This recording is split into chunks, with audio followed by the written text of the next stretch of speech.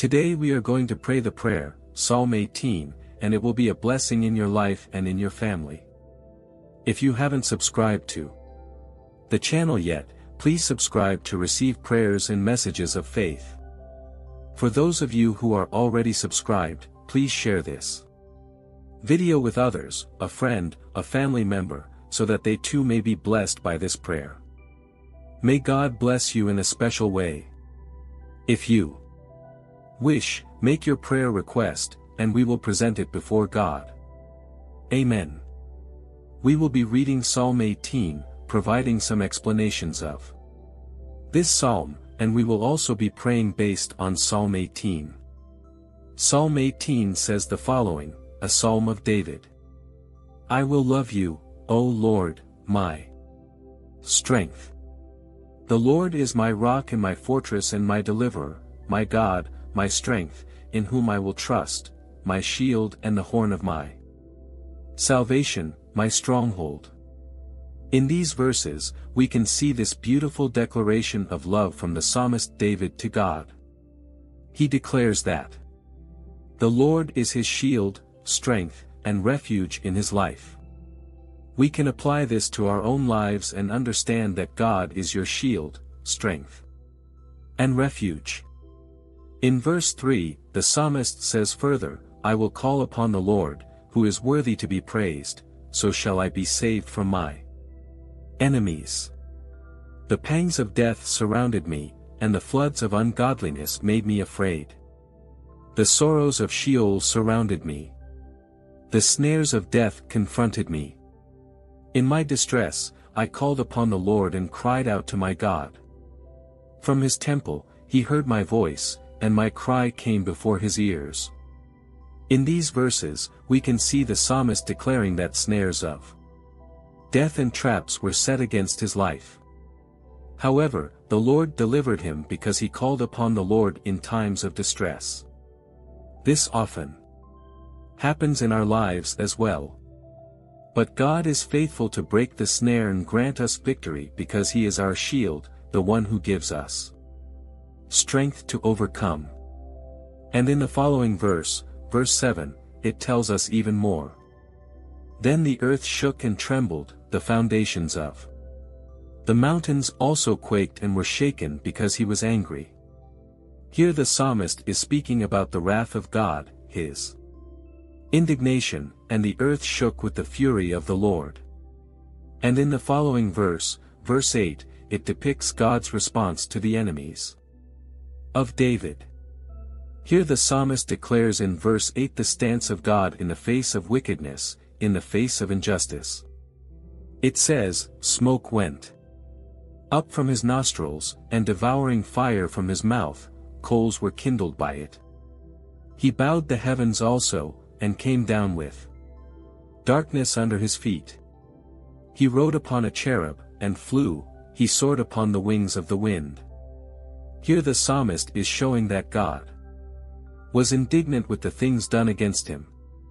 That is why the Lord he has this posture of justice towards all those who rise against the anointed of the Lord. And you are anointed by God, you are anointed of the Lord, and whoever touches you touches God. Whoever touches you touches your Creator, who is the Lord of hosts. That is why the Bible says that we are the bride of Jesus. Whoever touches the bride touches the groom. That is why the Bible says that the Lord is our Father, and whoever touches the Son or the daughter touches the Father. So whoever touches you touches God. That is why the Lord is your shield, our shield. And in verse 11, the psalmist says even more, He made darkness his secret place, his canopy around him was dark. Waters and thick clouds of the skies. From the brightness before him, his thick clouds passed with hailstones and coals of fire. The Lord thundered from heaven, and the Most High uttered his voice, hailstones and coals of fire. He sent out his arrows and scattered the foe, lightnings in abundance, and he vanquished them. Then the channels of the sea were seen, the foundations of the world were Uncovered at your rebuke, O Lord, at the blast of the breath of your nostrils. He sent from above, he took me, he drew me out of many waters. In these verses we just read, we can see a God of justice acting in favor of those who serve him, to the point that the psalmist says that the Lord drew him out of many waters. These many waters that the psalmist is referring to are the struggles and adversities he was facing. And if you are going through any struggle, any persecution, know that the Lord will draw you out of the many waters. In other words, he will save you with a strong hand and an outstretched arm. That is why in verse 17, the psalmist says, He delivered me from my strong enemy, and from those who hated me, for they were too mighty for me. They confronted me in the day of my calamity, but the Lord was my support. He brought me out into a broad place, he delivered me because he delighted in me. The Lord rewarded me according to my righteousness, according to the cleanness of my hands in his sight. For I have kept the ways of the Lord and have not wickedly departed from my God. For all his judgments were before me, and I did not put away his statutes from me. I was also blameless before him, and I kept myself from my iniquity. Therefore the Lord has rewarded me according to my righteousness, according to the cleanness of my hands in his sight. With the merciful you will show yourself merciful, with a blameless man you will show yourself blameless. In these verses, the psalmist is showing how just our God is, how mighty our God is, how majestic our God is. Here, he is demonstrating the goodness of the Father towards him, and he is declaring how powerful God was in his life. And in verse 26, he continues by saying, With the pure you will show yourself pure, and with the devious you will show yourself shrewd. Here, in verse 20 and 26, it speaks of how with the merciful, God will show mercy, and with the sincere man, God will show sincerity. With the pure, God will show purity, and with the wicked, God will show cunningness. Here, the psalmist is referring to God as a just God, a God of justice. God will do good to those who do good, and God will bring harm to those who do evil. And in verse 27, he says further, For you will save the humble people, but will bring down haughty looks. You are my lamp, O Lord, my God, shine forth in my darkness. In this verse, the psalmist is saying that God will bring light into his darkness. And perhaps you may find yourself in a similar situation, going through a moment of darkness, a gloomy time. But God is saying, I will bring light to your darkness, and I will bring clarity to your life. The light of the Lord will reach your house, your life, and you will glorify the name of the one who lives and reigns forever. This psalm further reveals in verse 29, For by you I can run against a troop, and by my God I can leap over a wall. The way of God is perfect. The word of the Lord is proven. It is a shield for all who trust in him. 4. Who is God, except the Lord? And who is a rock, except our God? God is the one who strengthens me and makes my way perfect. He makes my feet like the feet of deer and sets me on my high places. He trains my hands for battle so that my arms can bend a bow of bronze. We need to understand that the author of this psalm is David, and that is why he uses this language of war as if he were going into a fight, a war, a battle. This same David was the one who defeated the Philistine army, the same one who defeated the giant Goliath. You know the story very well, and here the psalmist David is declaring that it is God who gives him strength, who surrounds him with strength. And God is doing the same thing in your life, my sister and my brother. God is giving you strength to overcome, empowering your arms to break iron bows, bronze bows. The Lord is giving you Strength to rise above difficulties, to surpass afflictions and distress. Receive strength from God. And Psalm 18 says even more in verse 35, You have given me the shield of your salvation. Your right hand upholds me, and your gentleness makes me great. You enlarge my steps under me, and my ankles do not give way. I pursued my enemies and overtook them, I did not turn back till they were destroyed. I crushed them so that they could not rise, they fell. Beneath my feet. Here the psalmist is still using the language of war.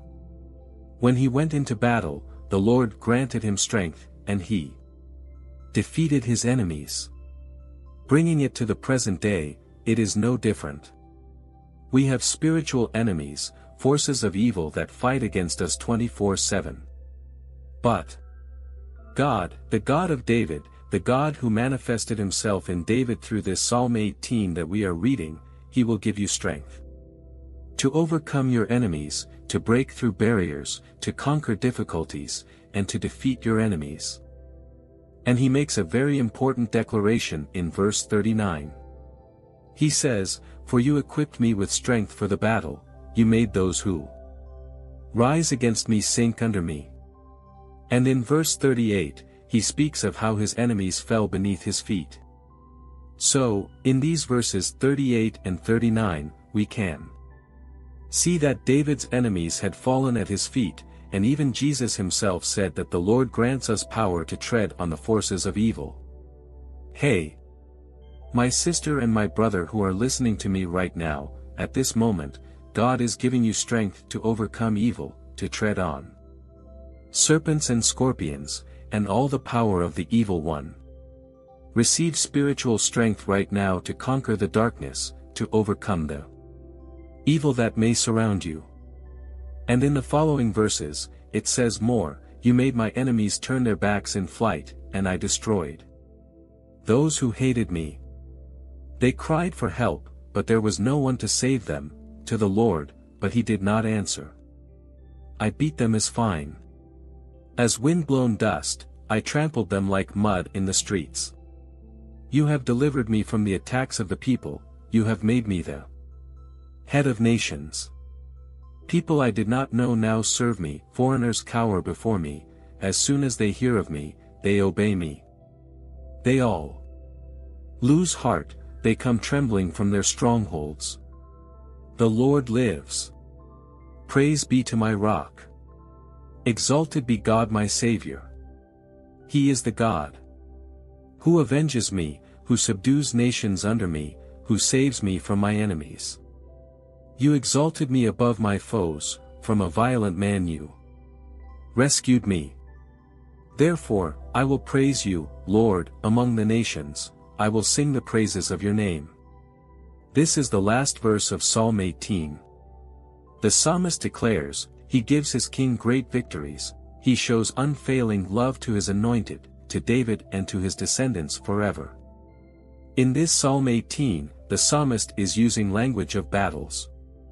That's why he talks about pursuing and defeating the enemy. But we know very well that our true enemies are not the people who speak ill of us, who envy us, who gossip about our lives. Our true enemies are the forces of evil, the malevolent spirits that fight against our lives. And this Psalm 18 is a psalm of war, a psalm of battle. Just as God anointed, strengthened, and empowered the psalmist to win the fights and wars, he will do the same in my life and in your life. God will give you spiritual capacity to overcome the spiritual battles you may be facing. Just as God empowered the psalmist in Psalm 18, God will also empower you to break down walls and conquer the forces of evil. And right now, I want to pray for blessings. May the blessings in Psalm 18 come down upon your life, your home, and your family. Close your eyes as I pray for you in this moment. Let's pray, Holy Spirit of Truth.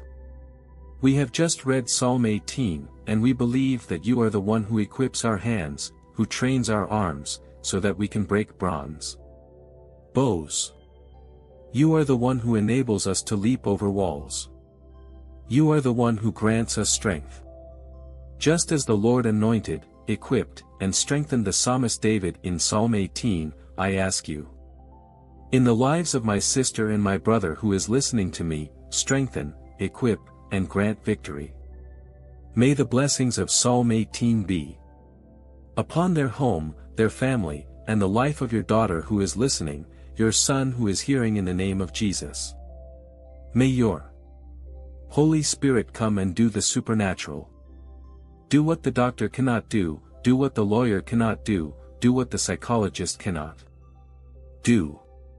Go, Lord, go there, Father, and perform the supernatural, the miracle in the lives of your sons and daughters, in the name of Jesus Christ. Repeat these words with me, I take hold of all the blessings of Psalm 18. I take hold of my victory.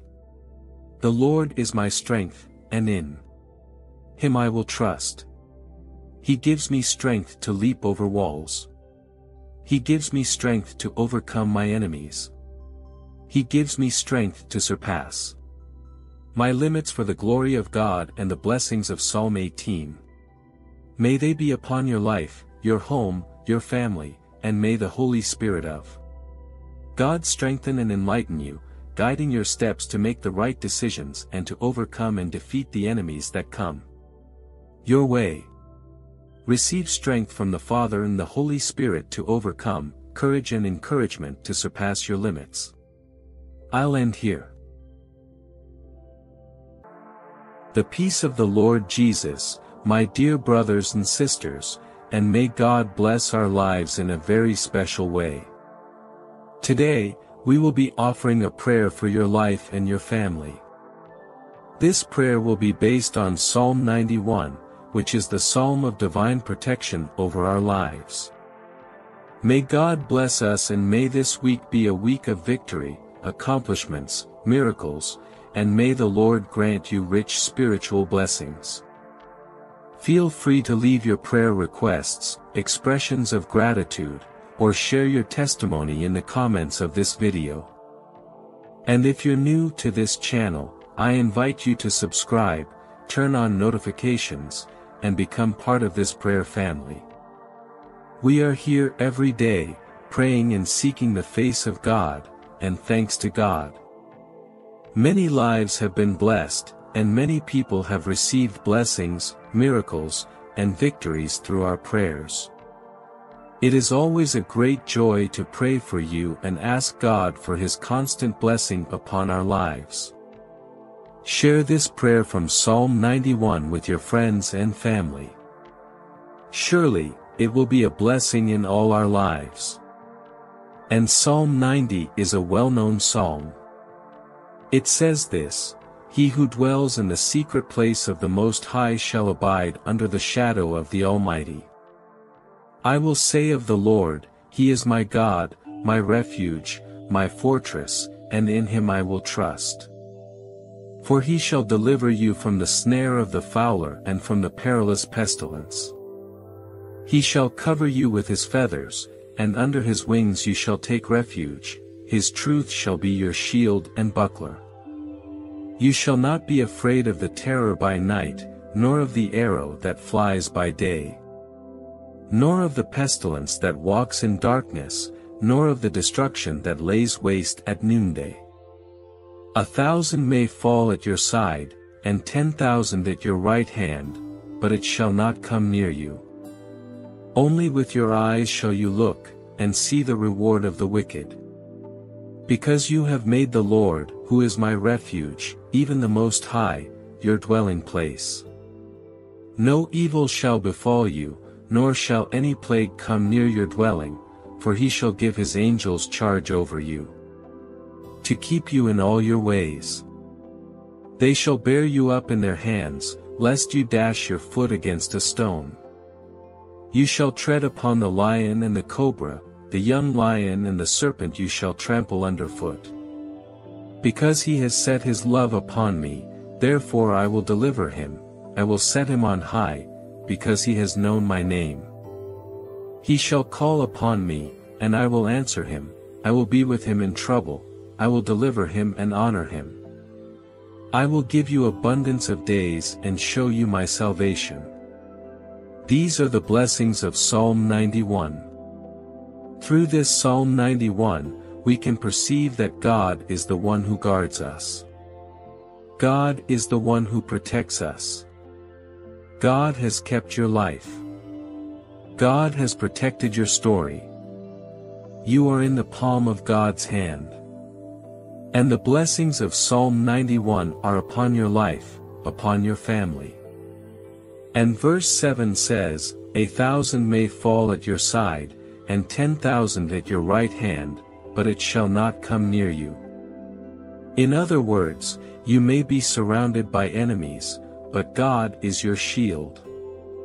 God protects you. God defends you. And in verse 11, the psalmist declares, For he will command his angels concerning you to guard you in all your ways.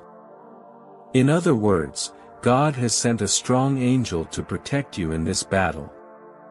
In this battle, you are not alone.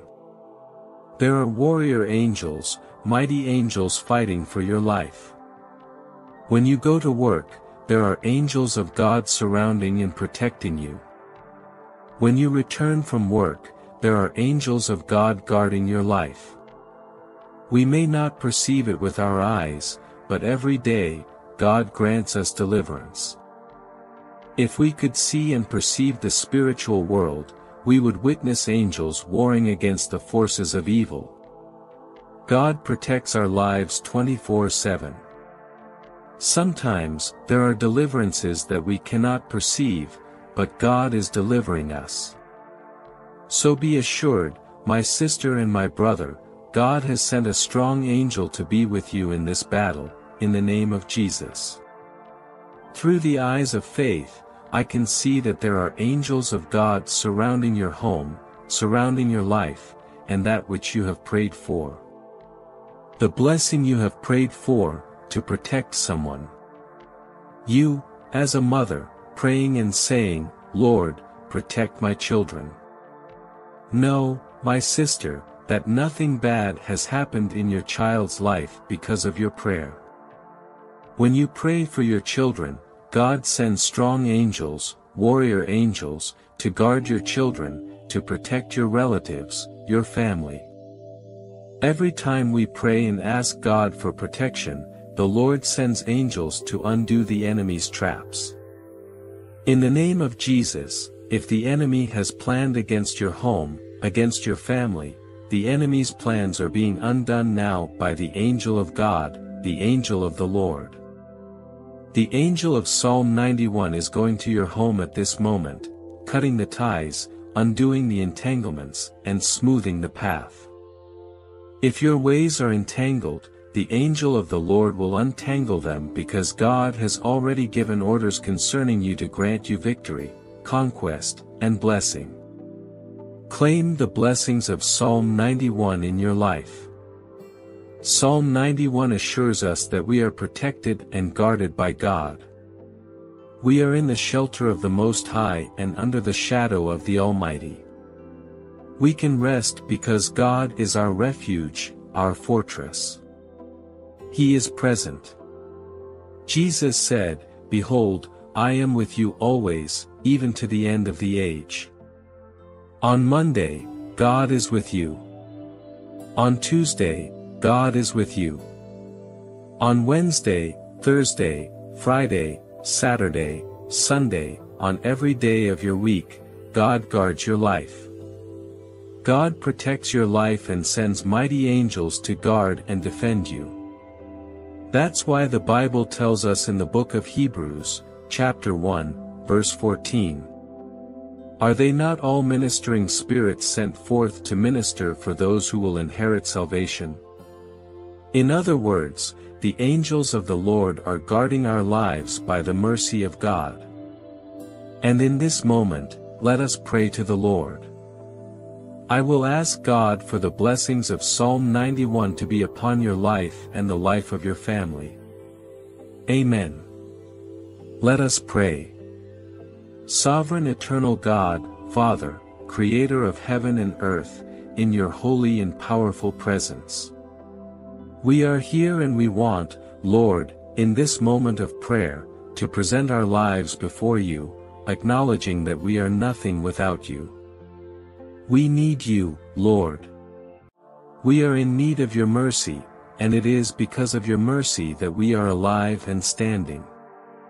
We want to ask for the blessings of Psalm 91. Lord, may these blessings of Psalm 91 be upon our lives, God, and upon our families, not just this week, this month, or this year, but in the coming years as well. Lord, may your blessing, the blessings of Psalm 91, be upon our homes every single day of our lives. For your word reveals that those who dwell in the secret place of the Most High shall abide under the shadow of the Almighty. So we ask you, Lord, to hide us in the secret place of the Most High and under your shadow. Lord, make us rest. God, your word also says in Psalm 91 that we shall declare, The Lord is our refuge, our fortress, and in him we trust. For it is you, O God, who delivers us from the snare of the fowler and from the deadly pestilence. Deliver us, Lord, from the snares of the enemy, from the traps of the fowler. Break the snares, Lord, undo the enemy's schemes, and guard our families. Guard our lives with your love, your grace, and your righteousness.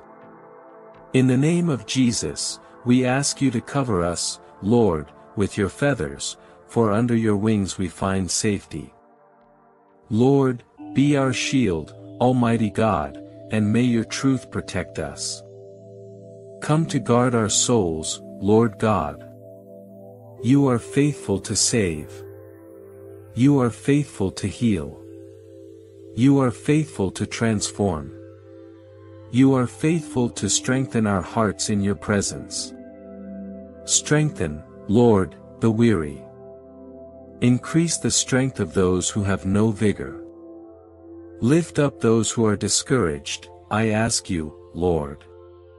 Grant them courage, grant them strength, and grant them boldness. For your word says that though a thousand may fall at our side and ten thousand at our right hand, we will not be harmed. So, Lord, guard us. Guard us from evil and danger. Guard us from distress. Guard us from suffering. Cut, Lord, the cords that the enemy tries to use to bind the souls of your people. God, in the name of Jesus, if there is anyone who is imprisoned by depression, trapped in sadness, held captive by past disappointments, come and break that spiritual prison. May all sadness, all anguish, and all depression vanish in the name of Jesus, and may relief, peace, strength, joy, and encouragement come in its place in your presence. Holy Spirit, your word says in Psalm 91, verse 10, No harm will overtake you, no disaster will come near your tent. God, you guard our homes, you guard our lives, you guard our coming and going.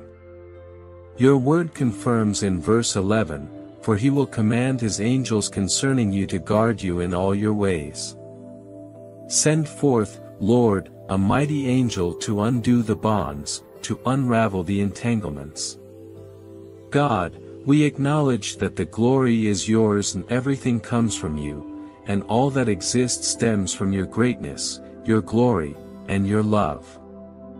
And we ask you, Lord, to send a warrior angel to wage war in the spiritual realm, that this angel may undo the enemy's bonds in the mighty name of Jesus. Because we believe in the power that resides in your name, for through your name demons fall, through your name Jesus, illnesses disappear. And through your name Jesus, miracles and the supernatural occur. And in your name, we ask you to guard us, to deliver us, in your name, I beseech you. If there is someone who is sick listening to me at this hour, may all sickness in their bones, in their flesh, in their body, in their soul, in their spirit, may all sickness, whatever the ailment, vanish now in the mighty name of Jesus, God. We want to claim all the blessings of Psalm 91 in our lives. God grants us spiritual authority. Lord, grant us abundance of days and show us your salvation. May these blessings of Psalm 91 manifest in our lives, in our homes, and in our families. We ask you, O God, for you are omnipotent, omnipresent, and omniscient. You are the Alpha and the Omega, the beginning and the end. You are the Almighty, the Creator of the heavens and the earth. You are the one who heals, who saves, who liberates, and who transforms. You are the one who makes the impossible happen, and we ask you in the name of your beloved Son, the one who died and rose again on the third day. The one who walked on water, the one who made the dead rise, the one who made the blind see, in the mighty name of Jesus Christ of Nazareth. We ask for the blessings of Psalm 91 in our lives, for the glory of your name. Our Father who art in heaven, hallowed be thy name. Thy kingdom come, Thy will be done, on earth as it is in heaven. Give us this day our daily bread. Forgive us our trespasses as we forgive those who trespass against us.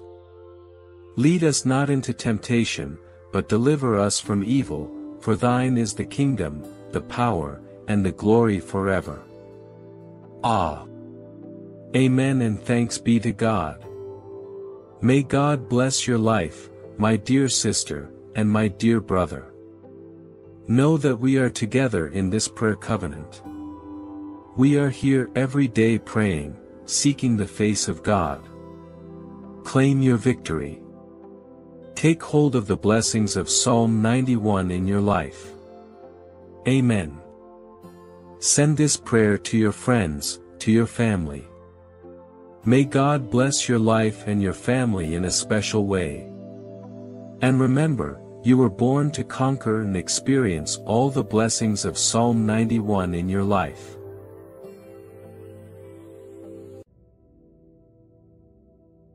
Today we will be praying Psalm 46.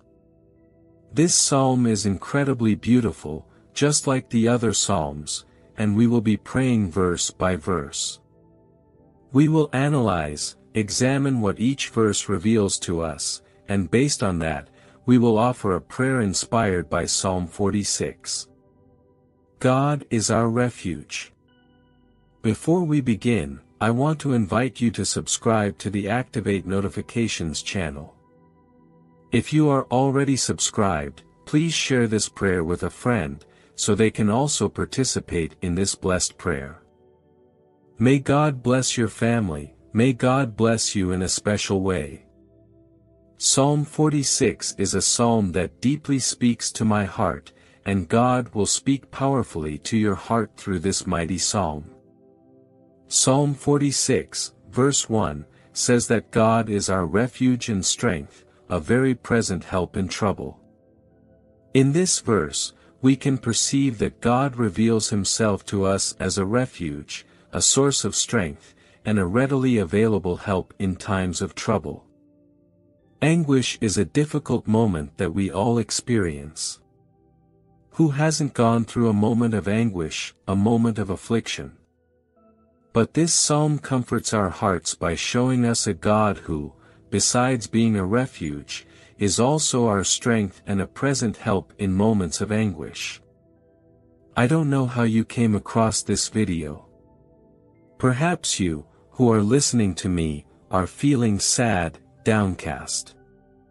Has a problem arisen in your life? But I want you to know that God is your refuge. God is your strength, He is your refuge because He guards you, He guards you because He loves you.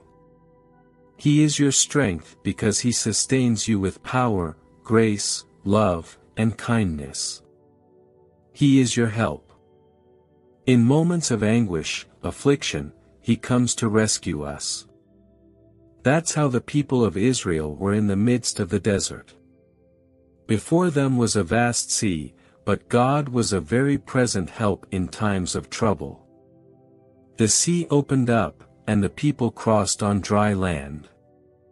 Know that your God is present in moments of affliction, in moments of anguish, in moments of scorn, in the difficult moments of life. God is a refuge and strength for your life, for your soul.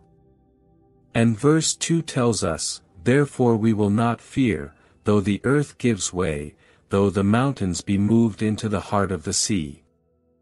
Therefore we will not fear, even if the circumstances of life, even if life's moments are difficult, chaotic, even if the world is in crisis, I will be in Christ. Even if the world is in calamity, I will be in the refuge and strength, guarded and protected by God. When the psalmist in verse 2 says, Therefore we will not fear. He is saying, Because God is my refuge and strength, I will not be afraid. In other words, you don't need to be afraid. You don't need to be afraid because your God is a mighty God who guards you, defends you, and is a shield in your life. So he says in verse 2, Therefore we will not fear. I will not be afraid, I will not be afraid, because God is my refuge and strength. Every time fear knocks on the door of your heart, tell fear, God is my refuge and strength, a very present help in times of trouble. Do not be afraid, do not be afraid of adversities, problems, conflicts, giants, or walls.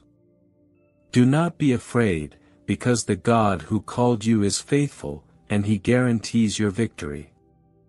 He guarantees blessings in your home, in your family. The God you serve is a refuge and strength, a present help in times of anguish. And for this reason, the psalmist tells you, Therefore we will not fear, even if the earth gives way. Just see the confidence of the psalmist. He is saying that even if the earth moves, even if the earth gives way, he will not fear, even if the mountains are carried into the midst of the sea. In other words, even if an earthquake happens, I will not fear because my God is my refuge and strength. That's what the psalmist is saying in verse 2. And in verse 3, he goes even further, even if the waters roar and foam, even if the mountains tremble with its tumult. In other words, even if everything around me is conflicting, even if everything around me seems difficult, complicated, problematic, even so, I will not fear. Even if the earth gives way, even if the waters roar and foam, even if the mountains are cast into the midst of the sea, even so. I will continue to trust in God because I know that my Redeemer lives and will ultimately rise upon the earth. And the psalmist is teaching us that we need to trust in God. And how were Jesus' disciples in the midst of the storm? Jesus was sleeping in the boat. The storm was raging, and the disciples were fearful, they were afraid. Jesus wanted to teach his disciples that they didn't need to be afraid because the one in the boat was greater than the seas, greater than the winds, greater than everything. Jesus rises up and calms the sea and the wind. Jesus is rising up in your life today to calm the storm, to calm the contrary winds. For this reason and for this purpose, do not fear, do not be dismayed, and do not be afraid. Do as the psalmist did in Psalm 46, therefore we will not fear. Even if the earth gives way, and even if the mountains are carried into the midst of the sea, even if the waters roar and foam, even if the mountains tremble with its tumult. In verse 4 of chapter 46, the psalmist goes even further. There is a river whose streams make glad the city of God, the holy habitation of the Most High. Notice that in this verse 4, the psalmist tells you that there is a river, and this river whose streams make glad the city of God. Which river is the psalmist referring to in Psalm 46? It is the river of living water. It is the same river that Jesus spoke of to the Samaritan woman. In the Gospel of John, it is the same river described in the book of Revelation. It is the river that brings life, also described in the book of Ezekiel about this river. This is the river that brings joy. The waters of this river are the Holy Spirit. Water represents purity. Water represents purification. And the river that purifies is the river that transforms. It is the river that heals diseases. It is the river that cures sin, that washes our spiritual garments, and the waters of this river. It is the Holy Spirit of God that brings joy to the city, the dwelling place of the Most High. This river is now entering your house. This river of God, the purifying river, the transforming river, the healing river, the river that opens doors, the river that brings joy. The river that comforts our hearts. The Holy Spirit of God is entering your house, entering your life, and purifying your soul. And it is about this river that verse 4 is referring to. The river that represents the Holy Spirit of God, and this river, the streams of these waters, brings joy to the city of God. In other words, the Holy Spirit brings joy to our hearts. And in verse 5, it says even more, God is in her midst. She shall not be moved. God will help her when morning dawns. Notice that in verse 5 of Psalm 46, it says, God is in her midst. The text does not say that God is on the right side, the left side, in front, or behind. No. The text says that God is in the midst. What does it mean that God is in the midst? When you place something in the middle of a room, everything around it seems to fade away. When you put something in the middle, highlighted in the center of a room, everyone who enters can perceive what is in the middle. Have you noticed? Everything in the center is observed, everything in the center stands out. When the text says in verse 5 that God is in her midst, the psalmist is saying that God is in the center. God is the center of attention. God is in the midst. It means He is the most important thing in my life. God is the most important. That's why He is in the center, in the midst. Notice that when Jesus went to die on the cross, He died in the midst of two thieves. Even in His death, the middle, the center, belonged to Him.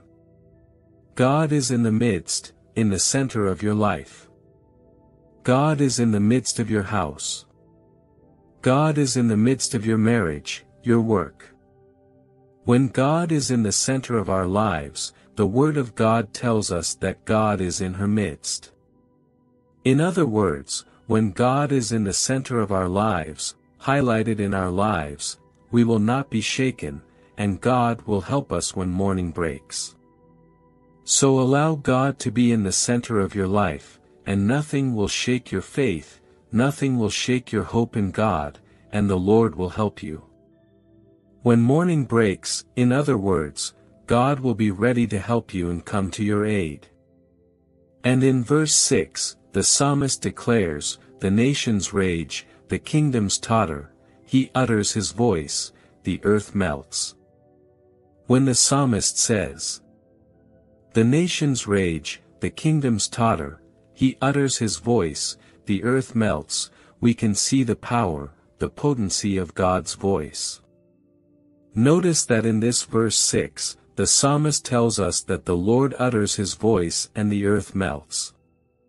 In other words, the voice of the Lord is so powerful that the earth melts. The voice of the Lord is so powerful that no stony heart can withstand the voice of God.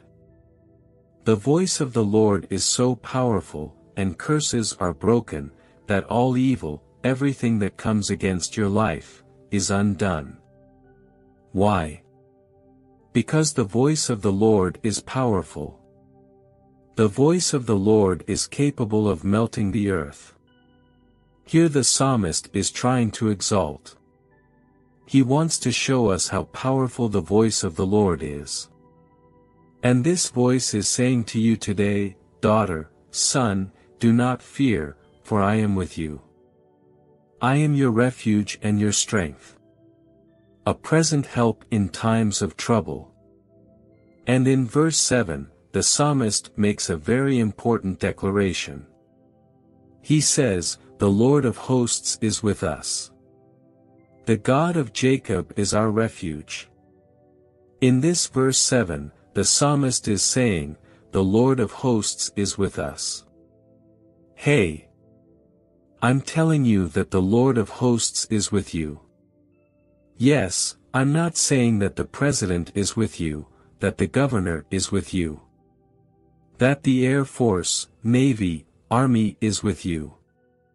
I'm not saying that. I'm saying that the God who made the heavens and the earth is with you. The God who made the sea and the stars is with you. The one who is with you is greater. The one who is with you is greater than the sun, greater than the moon. The one who is with you is greater than the stars. The one who is with you is greater than the seas. The one who is with you is greater than the giants. Who is with you is greater than the governors. Who is with you is greater than everything and greater than everyone. Who is with you is the one who made the heavens and the earth, the one who parted the Red Sea for the people of Israel to pass on dry land. The one who brought down the walls of Jericho, the one who made the giant fall to the ground, the one who healed the sick, the one who died and rose again on the third day. It is this one who is with you. Therefore, take courage, rejoice, and rest your heart, because the one who is with you is stronger than evil, stronger than darkness, and stronger than wicked deeds. The one who is with you is the Lord God Almighty. So do not be afraid.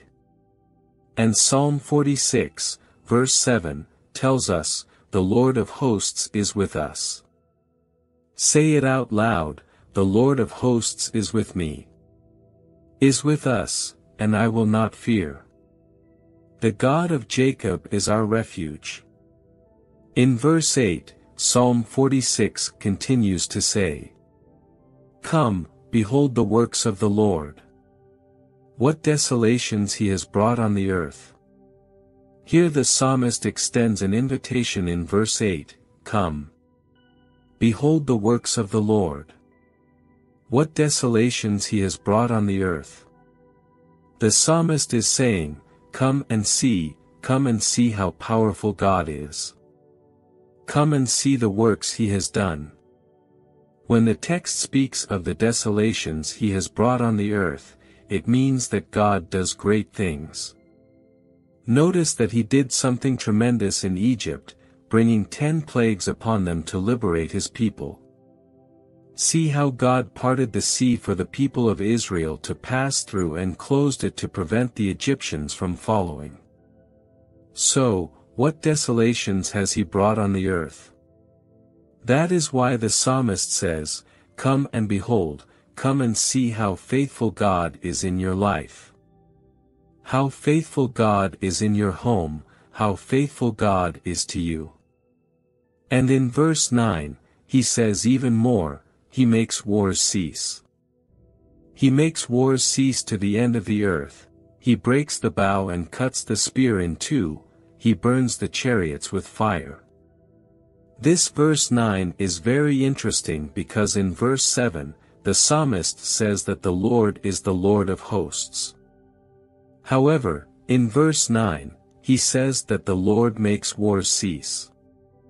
In other words, God is a God who is the Lord of hosts, but what is God's battle? God's battle is to cease wars. What does that mean? Ceasing wars means God is saying, I will cease the wars in your family. I will cease the wars in your workplace. I will cease the conflicts, the fights. I will bring peace among your family members. I will bring peace in your city, in your neighborhood. In other words, God is the God who is the Lord of hosts, but he comes to cease, to stop the wars, the struggles, the trials, and the afflictions of life. Very powerful. He makes wars cease to the end of the earth. It is for him to cease wars to the end of the earth. What will he do? He will break the bow, cut the spear in two, and burn the chariots with fire. And in verse 10, the psalmist is filled with God and he says, Be still, and know that I am God, I will be exalted among the nations, I will be exalted in the earth. This verse 10 is very strong, very powerful. God is saying to me, to you, be still, calm down. Why so much anxiety, why so much hurry? Be still, be still in the Lord. Verse 10, Psalm 46 is saying, This calms your heart. Do not be anxious, do not rush. Rest in the Lord, be still in your soul. Be still, rest. Be still, God is saying in verse 10 of Psalm 46, and know that I am God. I will be exalted among the nations. I will be exalted on the earth. Be still your soul, rest in the Lord, for he takes care of you. He watches over you. He works for you. He fights for you. He heals your soul, he transforms your life. He lifts you up with power. He is your refuge and strength, a very present help in trouble. For this reason, be still. Know that God will be exalted on the earth and among the nations. And in verse 11, the psalmist concludes the psalm by saying, The Lord of hosts is with us. He reinforces what he said in verse 7, The Lord of hosts is with us. The God of Jacob is our refuge. Notice that in verse 7 and in verse 10, the psalmist makes the same declaration. The Lord of hosts is with us. The God of Jacob is our refuge. I was wondering with God, asking God why the psalmist repeated the same phrase twice in Psalm 46. In verse 7, he says, the Lord of hosts is with us. The God of Jacob is our refuge. And in verse 11, in verse 11, I apologize, I said verse 10, in verse 11 the psalmist repeats the same phrase again. In verse 10, he says, Be still, and know that I am God. I will be exalted among the nations, I will be exalted on the earth. And in verse 11, he repeats what he said in verse 7, the Lord of hosts is with us. The God of Jacob is our refuge. Why does he repeat it twice? God ministered to my heart. God spoke to me. Why does the psalmist repeat the same phrase twice? Do you know why? It's because many times we forget that the one who is with us is powerful. Have you noticed that in times of affliction, in moments of anguish? Sometimes we think that God is not listening to our prayer. That's how the disciples were in the boat when the storm was raging. They forgot that the Lord of hosts, the one who calms the sea and the wind, was there in the boat. The psalmist repeats the same phrase twice in verse 7 and again in verse 11 because he wants to strengthen, strengthen in our minds that the one who is with us is the Almighty God. And my sister and my brother, the one who is with you is not a weak God. The one who is with you is not a God who needs help. The one who is with you is not a God who walks with a crutch. The one who is with you is not a small God. The one who is with you is an almighty God. That's why the psalmist repeats in verse 7 and verse 11 that the one who is with us is the Lord of hosts. The God of Jacob is our refuge. And God, repeating, God only repeats what we need to hear when we need to hear it multiple times. That's why in Psalm 46, he repeats it twice in verse 7 and verse 11. He, the Lord of hosts, is with us. He is with us to give us victory. He is with us to heal, transform, lift up, strengthen, completely transform our lives. So do not be afraid. Do not be dismayed, for the Lord of hosts is in your life. Amen. Claim this word. Claim what God has promised for you.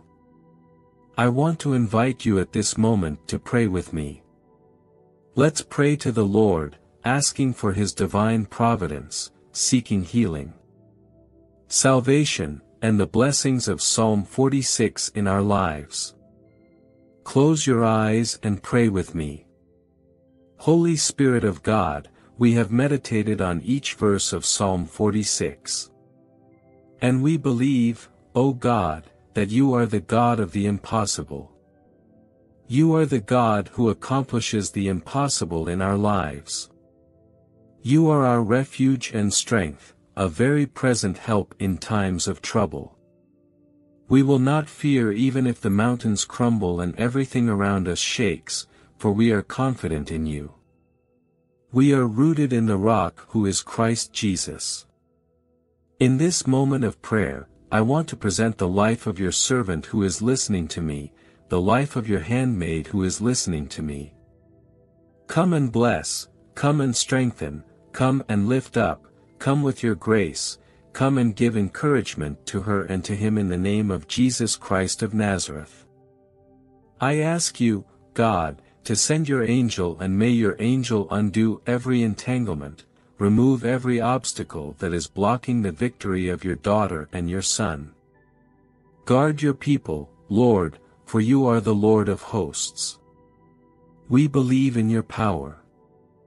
You are the Lord of hosts, and you are with us to protect, guard, defend, and guide us. Therefore, Lord, fight for us. Come and cease the wars to the ends of the earth. Put an end to the conflicts in households, the strife between couples, the conflicts at work, the conflicts in the church, and the conflicts in families. Let them all cease now, let them be annihilated. Let all evil, every negative force, every attack, and every counterattack from the enemy be undone by the power of Jesus' blood. Lord, cover our families, our homes with your blood. Defend us, protect us, guard us with your power and mercy. God, in the life of this woman listening to me and this man listening to me, pour out your blessings, your gifts, your virtue, and your victory. Shower us with blessings, grace, and victory over the lives of my sister and my brother, in the name of Jesus Christ of Nazareth. We ask for the blessings of Psalm 46 in our lives, in our families, in our finances, and in our emotions. Lord God, bring healing, bring liberation, bring transformation, open doors, and grant victory. For you are our refuge and strength, a very present help in times of trouble. In the name of Jesus, we take possession, Lord, of all the blessings, promises, and gifts that you have for our lives. In the name of Jesus, Amen and thanks be to God. Repeat this phrase with me, I take possession of all the blessings of Psalm 46 in my life. Repeat it again. God is my refuge and strength, a present help in difficult times. Say it louder, say it for hell to hear, for heaven to hear, for people to hear. Declare for everyone to hear, God is my refuge and strength, a very present help in times of trouble. In God, I can do all things because He strengthens me. Amen. Take hold of victory. Believe that you were born to overcome, and nothing and no one can steal from you the blessings of God that are in your life. Amen. May God bless you. If you are not subscribed to the channel yet, subscribe and enable notifications. May God bless you. May the peace of the Lord and the prosperity of Christ be in your life. May the blessings of Psalm 46 be upon you. May God bless your life and your family in a very special way. Today, we will be praying Psalm 125, and I believe that through this prayer, God will bless your family. God will bless your financial life. God will bless your entire life. God will bless your marriage and your children. God will bless your life. Believe with all your heart and most. Importantly, God will bless your spiritual life. Our spiritual life needs to be in fullness before God, and this psalm will be a fortress for your spirit. It will lift your spirits, strengthen you, recharge your energy, and you will glorify the name of the Lord. Before we begin, I want to invite you to share this video with a friend. It may bless someone else's life. If you wish, leave your prayer request or comment below. I always read the comments and include the requests in my prayers. Amen. Let us meditate on Psalm 125 and understand what God wants to reveal to us through His Word. Don't leave the video, stay until the end because God has a powerful revelation to deliver to you through this mighty psalm, Psalm 125.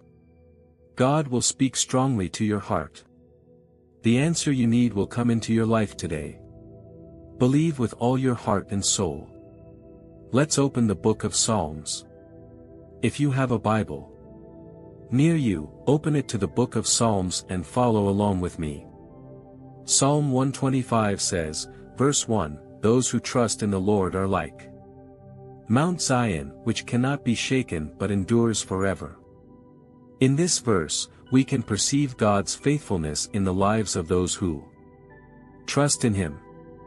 The text says that those who trust in the Lord are like Mount Zion, which cannot be shaken but endures forever.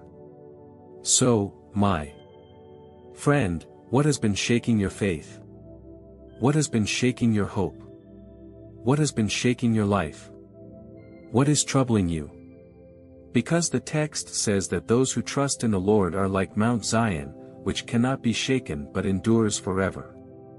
I know that we are made of flesh and bone, and sometimes we feel weakness, we feel discouraged. It's normal for that to happen, but the sorrows of life, the weaknesses, the difficult moments cannot take away our faith, cannot take away our hope in Jesus Christ. The tribulations, the struggles of life cannot dim the brightness of the Holy Spirit on your face. Do not allow your faith to be shaken by the struggles and adversities you may face. Yes, you may go through difficult times. You may face challenges, but these difficult moments will not determine your faith, your defeat, or your failure. On the contrary, the difficult moment you may be experiencing is making you stronger, stronger in God, and your faith will not be stolen. The enemy may think he will destroy you. But Satan has two jobs, to rise and to fall because the one who is with us is greater than the darkness. The one who is with us is greater than the enemies. The one who is with us is the Almighty God, and He is faithful in your life. He is faithful in your story. And the text says that Those who trust in the Lord are like the mountains of Zion that cannot be shaken. Notice that spring, autumn, summer, and winter pass. Seasons pass, time passes, but a mountain doesn't move. The earthquake may come, but the mountain doesn't move. The storm may come, but the mountain doesn't move. If you look at the hills, you see the mountains. You will realize that year after year, the mountains remain firm in the same place.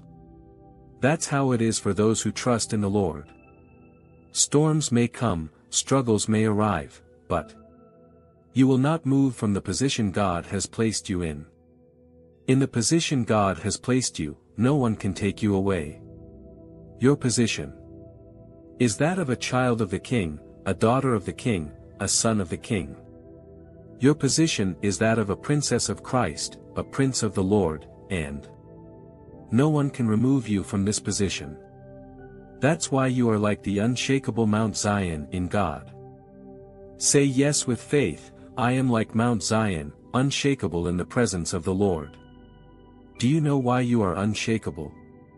Because you can. Do all things through him who strengthens you. Do you know why you are unshakable in God? Because the Lord, the Creator of heaven and earth, is your strong shield. He is the one who guards you, guides you, protects you, and defends you. He is the Lord of your life. That's why you are unshakable in God.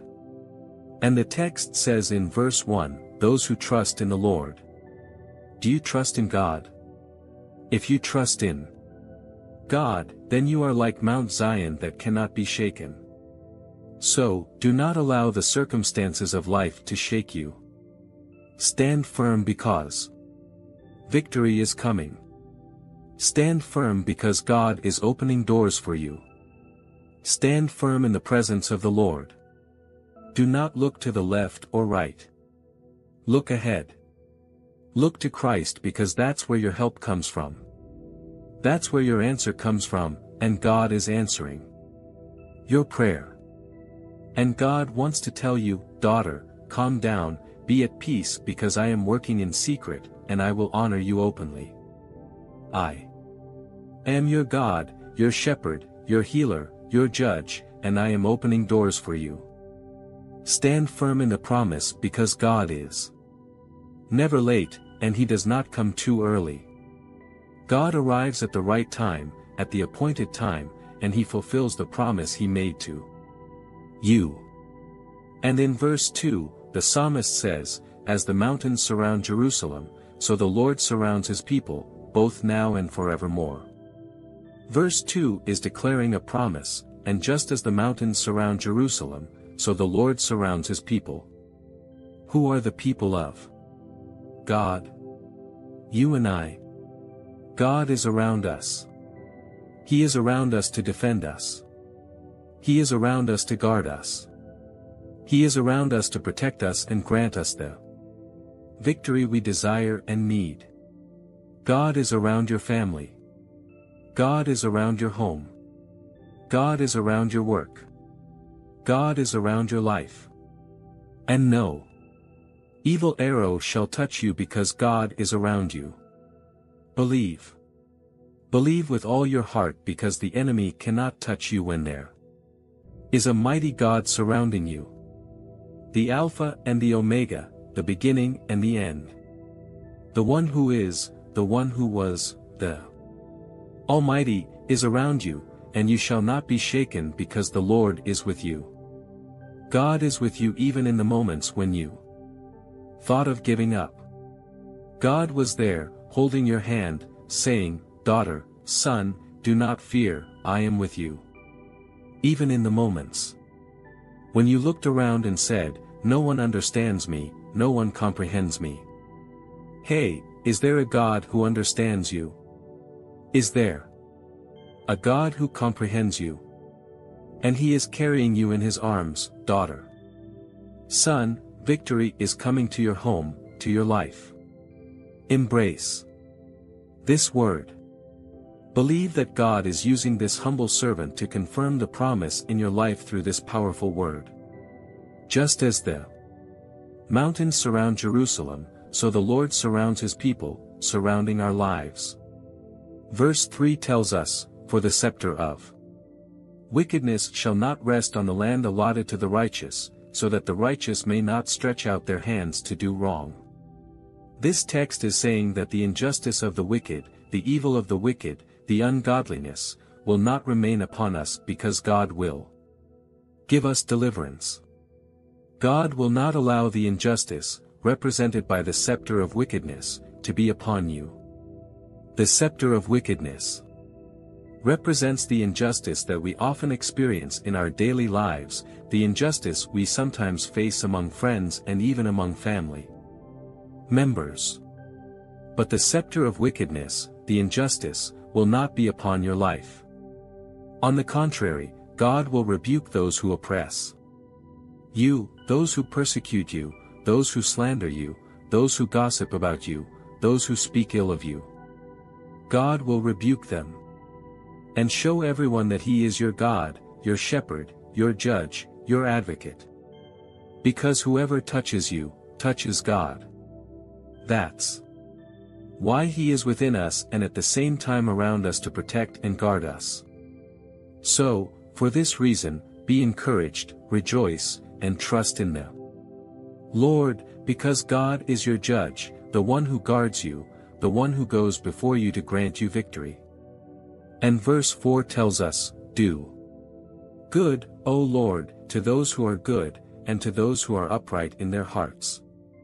Here the psalmist is pleading, declaring, asking the Lord to do good to those who are good, to those who are upright in heart.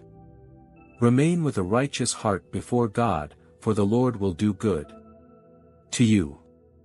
Jesus said that if an earthly father, being imperfect, gives good gifts to his children, imagine how much more will God, who is perfect, do good. God is good. Let me repeat for you to understand. God is good. You know what that means. It means that God's goodness is in your life. It means that this goodness opens doors for you. This goodness comforts you, this goodness lifts your head, this goodness gives you courage, grace, strength, and energy to continue. Marching in the presence of the Lord. May the goodness of God visit you in this moment, right now as you are listening to me. Receive the Holy Spirit of God, strengthening you and saying, I am giving you strength to keep walking in my presence. Be encouraged and rejoice. Because goodness, my goodness, is upon your life, says the Lord. And the text goes on to say, in the last verse of Psalm 125, it says, But as for those who turn aside to their crooked ways, the Lord will lead them away with evildoers. Peace be upon Israel. In this fifth verse, the psalmist concludes the psalm by saying that those who walk in crooked paths will be punished by God, they will be judged by God. Those who practice evil will be judged by God. When we turn on the news, we see so much violence, so much evil. Hey! No evil will escape. The punishment of the Lord. But he concludes the psalm by saying, Peace be upon Israel.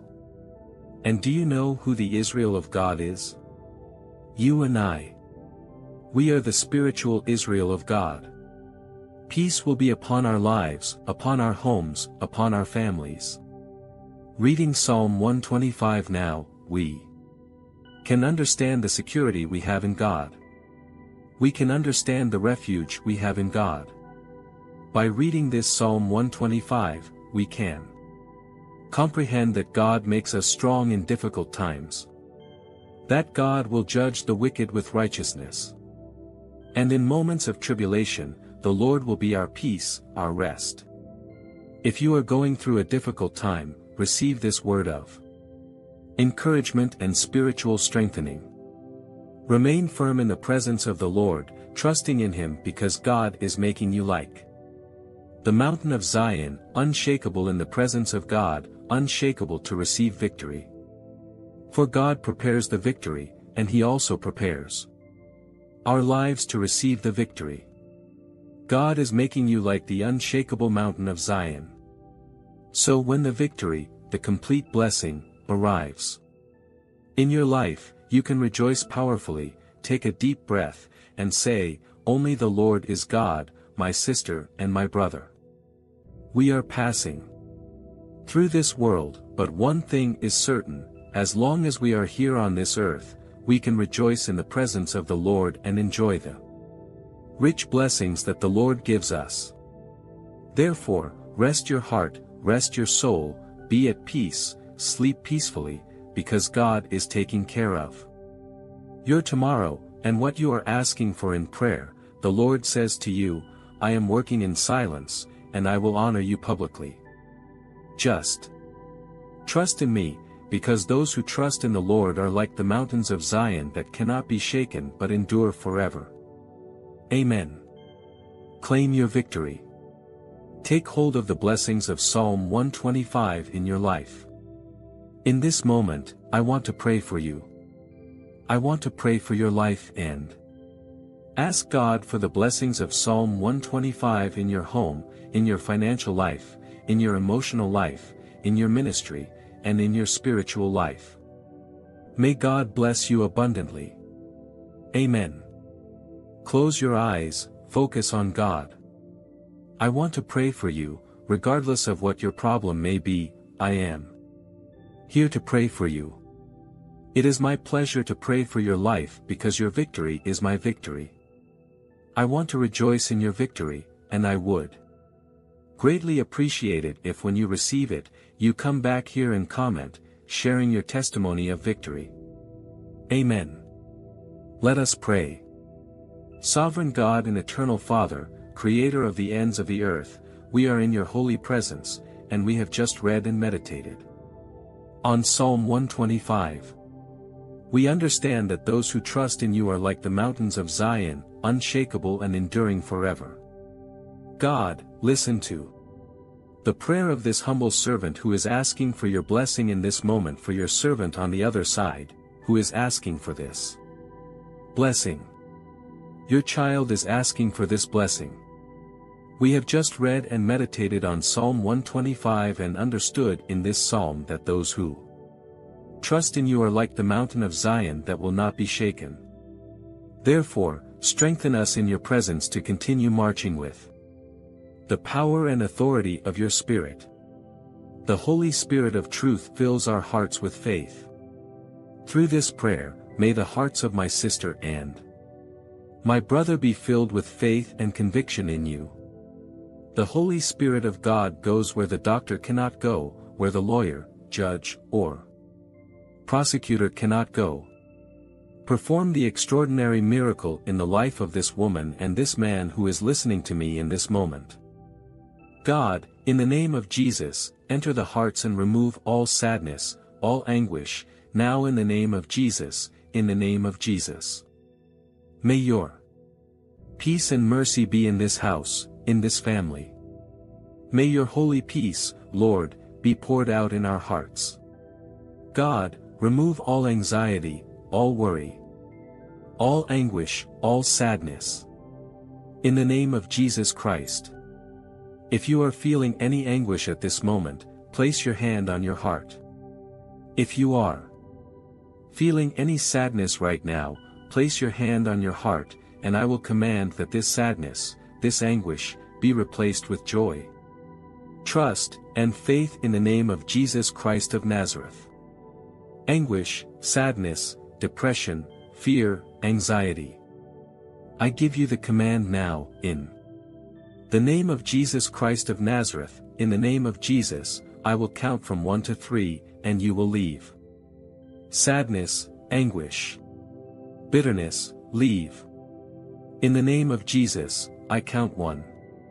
Sadness, this heart is not your place. Depression, you have no power over this life. I count. 2. I decree God's blessing upon this house, this family, this life that is listening to me in this moment. I count three. Receive peace. Receive love, receive grace, receive encouragement, receive virtue, receive power, receive strength to overcome. Receive the anointing of the Holy Spirit of God in your life at this moment. Open your mouth and say, I am a conqueror, I am a conqueror in Christ Jesus, because I trust in the Lord, and I am like Mount Zion. Say it loudly, say it for hell to tremble. Say it for your heart to hear. Say it for the angels to listen. Say it like this, I am unshakable in God. Because I trust in the Lord. Therefore, I am like Mount Zion, unshakable and enduring forever. Say it loudly, I am unshakable in God and I endure forever. Say yes to the blessings of Psalm 125. They are in my life, in my family, in my home. They are upon me. In the name of Jesus, take possession of victory and believe. God is with you. Amen. All honor, all glory, all praise, and majesty be to the Lord. God Almighty forever. And may God bless your life. May this psalm have refreshed your soul. If you are not subscribed yet, subscribe to the channel here on YouTube. Enable notifications so that whenever a new prayer is released, you receive it firsthand. And remember, you were born to conquer and live every promise of God.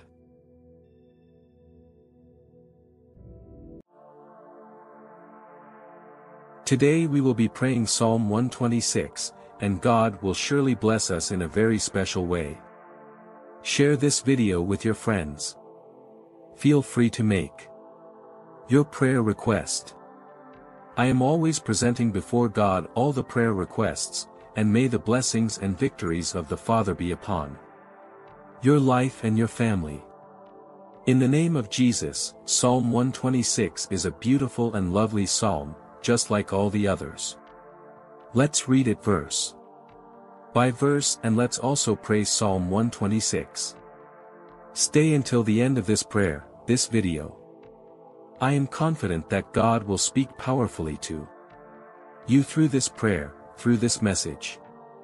Psalm 126 says, When the Lord brought back the captivity of Zion, we were like those who dream. Then our mouth was filled with laughter, and our tongue with singing. In verses 1 and 2, we can contemplate the faithfulness of our God towards us. A God who does not forsake his people. A God who is always with us to defend us and grant us victory. And in verse 2, the psalmist declares, Then our mouth was filled with laughter. In other words, in our lives, we smile. Sometimes it's difficult. Sometimes the struggles and trials of life may try to take the smile off your face, but don't stop smiling. Don't stop rejoicing in the presence of the Lord our God. No matter how much the struggles and adversities of life come against you, don't let anything in this world, nothing on this earth, take the smile off your face, the smile off your face.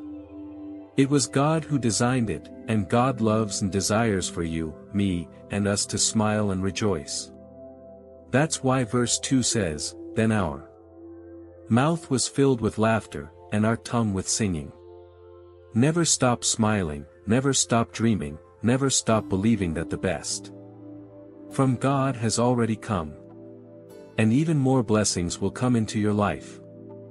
Never stop praising, singing hymns of worship to the Lord. The Bible tells the story of Paul and Silas being imprisoned because they had preached the gospel, and it describes how they prayed and sang hymns of praise. This story is written in the book of Acts of the Apostles. And suddenly, while Paul and Silas were singing, there was an earthquake, and the chains were broken. Your praise, your worship, breaks the chains of hell, and while you worship, the Lord works in your favor. In the moment you play a gospel song and start listening to that worship song, at that very moment, the demons fall to the ground because Satan does not like worship. The enemy dislikes the praise that adores the Creator. And in the moment that we worship, hell trembles. In the moment that we worship, the heavens open, in the moment that we worship, angels descend and ascend. In the moment that we worship, chains are broken, and victory arrives in our lives. And when Paul and Silas were worshipping, singing, there was an earthquake in that prison, and the chains and shackles were broken for the glory of God. I don't know, my sister and my brother, the problem you are living or facing. But one thing I am sure of, while you worship, the Lord is sending a strong angel to break curses, to break barriers. The Lord is sending his power to undo evil and grant you victory. Therefore, worship. And in verse 2 of Psalm 126, the psalmist is saying, Then our mouth was filled with laughter, and our tongue with singing. Then among the nations it was said, the nation said as follows, The Lord has done great things for them. One day the world will look at us and say, the Lord has done great things for them. When the enemy beholds your smile and your song, your joy in the presence of God, they will say. The world will say, the Lord has done great things in the life of that woman. In the life of that man, it is very beautiful and lovely that even in trials, even in struggles, we have reasons to rejoice because of the presence of God within us. The world is in crisis, but we are in Christ Jesus. We are anchored on the rock that is our God. We are anchored in Christ.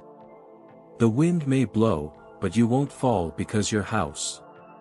Your life, is built on the rock that is Jesus Christ, and you won't fall. And when the world sees a Christian standing firm on the rock, they don't understand the world, they don't understand the Christian. The world doesn't understand you, the world cannot comprehend why. Even in the face of struggles, trials, and disappointments, the believer has reasons to rejoice, to lift their hands to the heavens and say, Blessed be the Lord, the eternal God forever. When Job lost everything he had, his children, his wealth, his health, Job did not complain. Job did not murmur. On the contrary, the Bible says that Job said, The Lord gave, and the Lord has taken away. Blessed be the name of the Lord forever. Job didn't need to see reasons to understand the struggle and trial he was experiencing. He only needed to see God, and that was enough for him to endure all the hardships he faced. You and I, we need to see God in difficult times. That's why this Psalm 126 is a reflection of God's presence in the life of a Christian. Because in verse 2 it says, Then our mouth was filled with laughter, and our tongue with singing. Then it was said among the nations, The Lord has done great things for them. And in verse 3, it confirms by saying, The Lord has done great things for us, and we are filled with joy. The Lord has done great things for you, my sister. Great things the Lord has done for you, my brother. You may wonder what great thing God has done for me. I will answer you, the great thing that God has done for you, for me, and for all of us is dying on the cross of Calvary and granting us salvation. Your name is written in the book of life. You belong to God, and God is within you. God delivers us every day, every day you leave your house to go to work. God is delivering you. Have you ever imagined how many times God has delivered you from death? God has delivered you, and He has delivered your family. So many times God saves us from evil and danger. That's why Psalm 126, verse 3, says, The Lord has done great things for us, and we are filled with joy. Some people find their happiness in worldly things, but the reason and the source of our happiness should be in God. If the reason for my happiness is Christ and God, I can say with clarity, the Lord is my shepherd, I shall not want. For this reason, my sister, for this reason, my brother, rejoice in the presence of the Lord. For the Lord has done great things. And I say more, the Lord will do great things in your life. Let me repeat, the Lord will do great things in your life. The Lord will do great things in your story, in your family. If you are going through a difficult time, have calmness and patience. The Lord will do great things in your life. And you will cry, but you will not cry in sadness. You will cry tears of joy in the presence of God, and you will be able to say, as the psalmist said in Psalm 126, The Lord has done great things for me, and I am joyful in his presence. Verse 4 says, Restore our fortunes, Lord, like streams in the Negev. Verse 5, Those who sow with tears will reap with joy. This verse 4 talks about the captivity of Israel when they were slaves in a foreign land, but they were set free from that captivity. And verse 5 confirms it by saying, Those who sow with tears will reap with joy. This means that every tear you have shed will be transformed into joy. Every tear you have shed, God will turn it into victory. No tears shed by a faithful believer is in vain. Every tear we shed, the Lord will reward. And verse 6 confirms this. Verse 6, the last verse of Psalm 126, says, Those who go out weeping, carrying seed to sow, will return with songs of joy, carrying sheaves with them. In other words, God is here. Assuring us that if we go out carrying the precious seed with tears, we will undoubtedly return with songs of joy. We will return with joy in our souls. Therefore, my friend, if you have been crying, if you have been suffering, if you have shed your tears, know that those who carry the precious seed, the precious seed being the word of God, while weeping, will undoubtedly return with joy, carrying sheaves with them. It means the results, the results of the tears you have shed. When we talk about tears, the Bible says in Psalm 30 that weeping may stay for the night, but rejoicing comes in the morning. The Bible says, Blessed are those who mourn, for they will be comforted. The tears of a faithful believer are not in vain. In the book of Samuel, the Bible tells the story of a woman named Hannah, who had a rival. Named Peninnah. Who was this rival? She abused her, mocked her because she couldn't have children. Hannah was barren. She couldn't conceive. And Hannah walked in sadness, with her head bowed, crying. Hannah's life was filled with tears. She cried in the morning, in the afternoon, and at night. She cried all the time. Hannah was very sad because all she wanted was to have a child. But she made a vow. To God. God likes vows, and she made a vow to God. If you need something from God, make a vow to him. And Hannah made her vow. To God. What was Hannah's vow? She made the following proposal to the Lord, Lord, if you give me a child, if you grant me what I am asking for, I will give this child back to you. I will dedicate this child to your altar. This was Hannah's vow. There are many things we ask for. And forget to make a vow regarding what we are asking for. Do you want this victory so badly? Then make a vow to the Lord. Everyone has their own style of making a vow. Hannah's style of making a vow was this, God, if you give me a child, I will give that child back to you. I will dedicate this child to your work. I will donate this child to your temple so that he may be a priest in your house. And that's what Hannah did. Hannah became pregnant with Samuel. God honored Hannah's vow, but she made that vow while crying in the presence of the Lord. She made that vow by shedding tears at the feet of the Creator. And God honored Hannah's faith and granted her request, which was Samuel, the prophet. When Samuel was weaned, she took him to the temple and entrusted him to the priest so that he would take care of Samuel, and Samuel would become a priest in the house of the Lord in the future. God is the one who likes vows. Try making a vow to God. You will see, and He will answer you with glory, power, and victory. The Bible also speaks in the book of Isaiah about a king named Hezekiah. And God used the prophet Isaiah to say that King Hezekiah would die. So Hezekiah turned his face to the wall, and he began to cry, cry, and shed tears in the presence of God.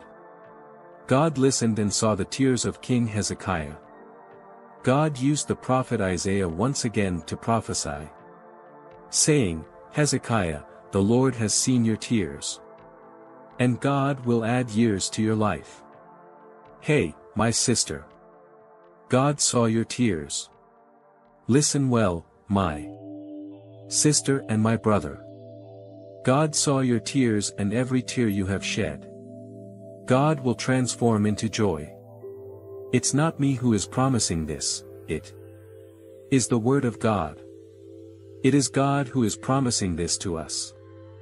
Psalm 126, verse 5, tells us, those who sow in tears shall reap with joy. Meaning that those who cry out to God, God responds. Those who cry out to God, God honors their faith. Many cry out of longing. Many cry because they have lost something. Many cry out of anger. Many cry out of jealousy. Many cry because they wish ill upon others. Many cry while watching a movie.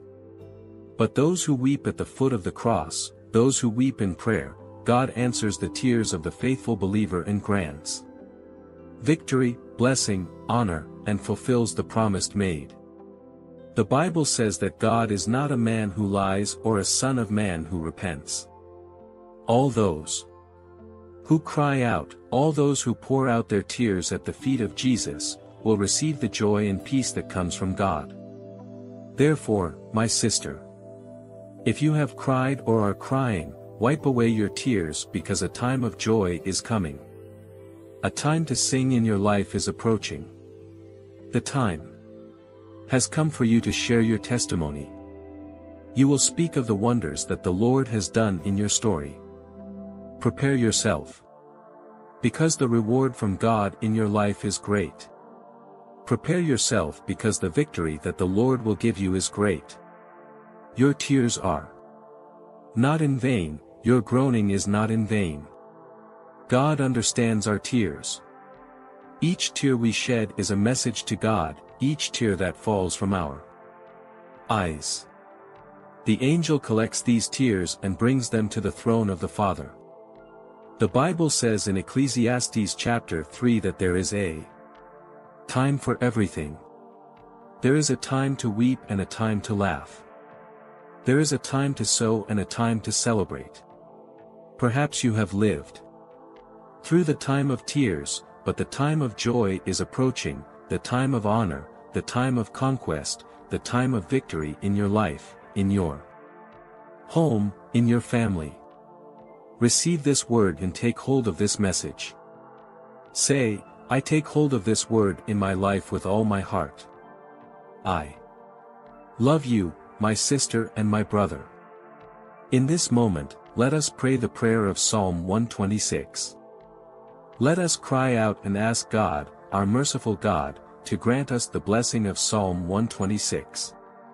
May every tear that has flowed from our eyes be transformed by the Lord into victory, blessings, health, and prosperity in our lives. Our tears, your tears, have watered the seed of faith, and Fruits of hope and blessings will sprout in your life and in your story. Amen. Take hold of this word, take hold of this message in your life. Let us pray, close your eyes, and let us converse with the Sovereign Father, the Eternal God, the Creator of heaven and earth. Here in your presence, we stand. We are here to humbly ask you, Lord, because we know that you alone are omnipotent, omniscient, and omnipresent. You are present in all places. You are the Alpha and the Omega, the beginning and the end. We enter your presence in prayer. Psalm 126 has been read, and we want to take hold of all the blessings of Psalm 126 in our lives, God. Your word says that those who weep will receive victory, that those who cry will find relief in your presence. So, Lord, I ask you as a father. Lord, in the name of Jesus Christ, behold the tears of your daughter. Lord, look upon the tears of your servant who has cried and asked you for this special blessing in her life. Remove all fear and anxiety from our hearts. Remove, Lord, from our hearts everything that displeases your presence. We ask you in the name of Jesus, in the name of Jesus, that every depression in the heart, mind, and life of this woman and this man be cast down now in the name of Jesus. Holy Spirit of truth, you are powerful, you are majestic. Do what the doctor cannot do, do what the earthly man cannot do, do what the lawyer, the judge, the prosecutor cannot do. Holy Spirit of God, embrace the soul of my sister, the soul of my brother. Lord, embrace them with your comfort. For your word says that we do not know how to pray as we should, but your Holy Spirit intercedes for us with inexpressible groanings. So, Lord, through the intercession of your Holy Spirit, I ask you, Lord, in your mercy, grace, and light, overflow with your mysteries, overflow. With your blessings, overflow with your benevolence upon the lives of my sister and my brother, granting victory so that they may testify of the great blessings that you will confirm in their lives, in the sovereign name of Jesus Christ, the one who died and rose again on the third day, in the name of the one who walked on water, in the name of the one who healed the paralytic at the pool of Bethesda, in the name of the one who healed the woman with the issue of blood, in the name of the one who multiplied the loaves and fishes, in the name of the one who is and was and is to come, in the name of Jesus Christ of Nazareth. Receive your blessing, receive your victory. Receive in the name of Jesus power, grace, anointing, confidence, faith to march in the presence of God with authority in the powerful name of Jesus. We ask you, O Lord God, and we thank you in advance because you are faithful to grant us victory. All honor and glory be given to you from the ages to the ages. Amen and thanks be to God. Repeat this phrase. With me, my tears will be transformed into victory, my tears will be transformed into blessings. In the name of Jesus, I take hold of the blessings and promises of Psalm 126 in my life, in my family, in my home, in the name of Jesus Christ. Amen. Feel relieved, feel light. Feel as light as a feather. Amen. This is the presence of the Holy Spirit within you. May God bless your life abundantly. Thank you very much for participating in this channel. If you are not subscribed, please subscribe. Amen. May God bless you abundantly. Feel embraced by the Holy Spirit. The peace of the Lord Jesus be with you and your entire family.